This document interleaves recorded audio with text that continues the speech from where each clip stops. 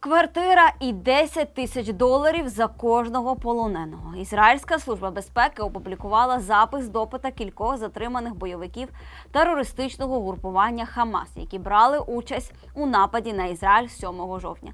Затримані заявили, що основний план полягав у тому, щоб вони захопили міста і отримували позиції якомога довше після того, як закінчать вбивати мирне населення та брати заручників. Один із бойовиків розповів, що за захоплення заручника та доставлення його до Гази кожен терорист отримував квартиру та 10 тисяч доларів США. Крім того, терористи розповіли, що отримали наказ вбивати солдат та цивільних, а також брати у заручники дітей та жінок. Бойовики розповіли, як вони вбивали мирних жителів, використовували дим, щоб змусити цивільних залишити укриття, розстрілювали машини з цивільними та вбивали навіть домашніх тварин.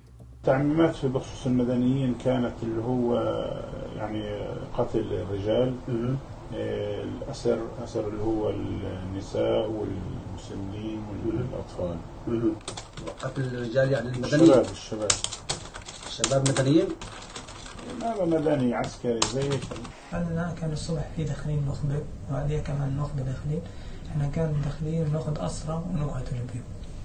وصلنا بالبيت في وقت التقينا جمعنا عنده. كلم أبو زيد أبو زيد قال له طهروا البيوت واخطفوا قد ما تقدروا أسرى لأنه في غزة اللي باخد أسرى له له مكافأة. قديش المكافأة قالوا لكم؟ شقة منزل بيت 10000 دولار. اللي بيجيب كل أسير بأخذ شقة ومنزل؟ مين قال لكم إياها هاي؟ كانوا يحكوها في القسام يعني. أنتم في مستوطنة صغيرة وكيف كنتوا تطهروا البيوت؟ أول ما دخلت صح أول ما دخلت المستوطنة شفت اثنين على فزبة كانوا ماخذين مرأة من عمرها من 60 ل 65 سنة على فزبة ماخذينها لوين؟ لغزة بعد ما قتلوا المستوطنين الاثنين سليمان كرم النخبة جابوا جابوا واحد تقريبا عمره 40 ل 45 سنة زلمة كلونه قمحي شوي ومش طويل كتير أخذوا عمادة بالحروج وضلوا طالع فيه. طالع فيه لوين أخذوه؟ على غزة وإحنا راجعين وراه كانوا طالعين من جوا بنت عمرها يمكن 16 سنة أو 15 سنة. شو عملتوا في البنت؟ هذه البنت وقفت آه، صوروا معها سيلفي كان يقول جوفيت كان يقولوا طخوها. في قال لا ما تطخوهاش خذوها؟ أسيرة. وتصوروا معها في واحدة تصور معها سيلفي وركبها على الفزبة Допити бойовиків Хамасу нагадують військовополонених росіян в Україні, розповідаючи про те, як вони вбивали жінок та дітей, всю відповідальність перекладають на своє керівництво. Мовляв, не знали на що підписувались, їх обманули та кинули. مضحوك علينا احنا م?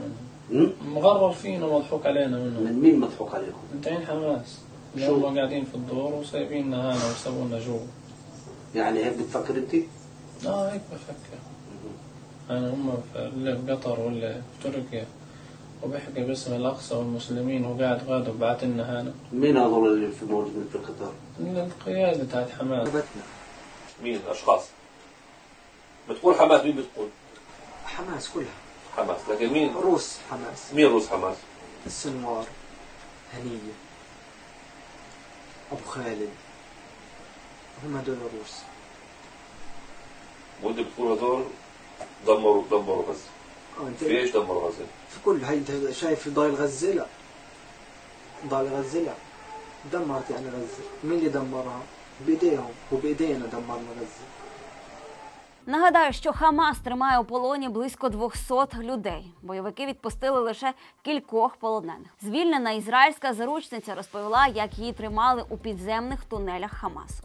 На прес-конференції у Тель-Авіві жінка розповіла, як її захопили у полон. З її слів, бойовики на мотоциклах викрали її з кібуца, де вона жила. Жінку вивезли в поле, забрали у неї годинник та прикраси, після чого побили ціпками.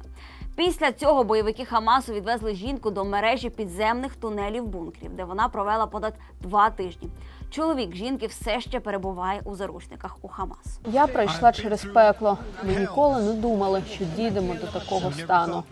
До нас, заручників, був представлений лікар, і він приходив кожні кілька днів, щоб оглянути нас.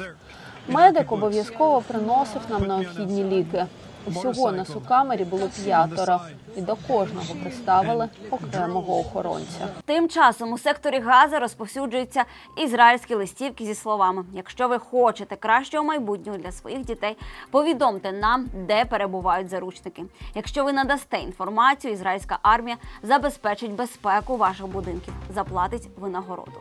Повідомляється на цих листівках.